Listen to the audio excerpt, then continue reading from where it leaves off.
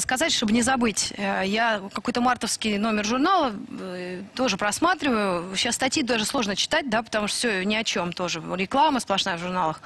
Но иногда можно как-то прям себя заставить прочитать.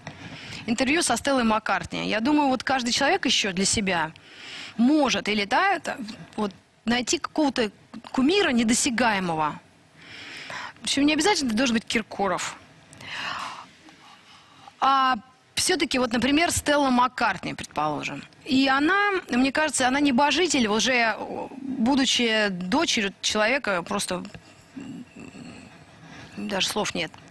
И она, вот как она свою, э, свою жизнь распределила, как она все сделала, конечно, может быть, где-то ей было легко, где-то сложно, но вот для меня это такой, наверное, показатель ума, э, скромной внешности, не очень модельной, да, но как она смогла все это сделать, и э, тут не завидуешь, а просто все, что она говорит, это не лишено, это умные вещи, которые можно реально взять себе на вот как-то э, на вооружение.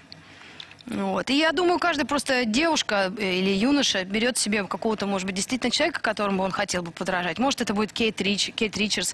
Мне почему-то в России, я не знаю, вот я таких прям на вскидку не могу примеров э, найти. Потому что вот если какой-то писатель, который вроде ничего, да, а потом он одну жену бросил, вторую, третью, и так смотришь, думаешь, ну, какой-то пример. Вот, м, мне кажется, нет, не подходит. А если совсем какой-то недосягаемый человек, тогда можно, вот идеализируя его, вот на него быть похожим, наверное. Я не Сразу совсем... понятно, про какого Непонятно? писателя ты говоришь. А, да? А, а скажи,